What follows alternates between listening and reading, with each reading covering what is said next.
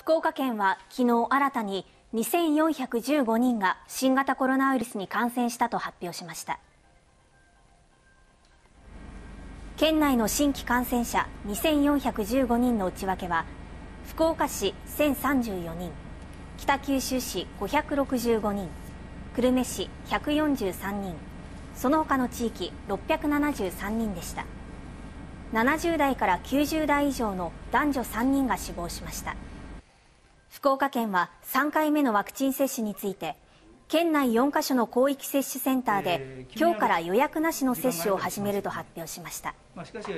各会場で曜日や時間ごとに予約なしの専用枠が設定されていて接種券と本人確認書類が必要です。福岡県の3回目の接種率は46.8%にとどまっていて予定が立ちにくい人でも接種できるようにと実施されます佐賀県では昨日新たに569人の感染が確認されました。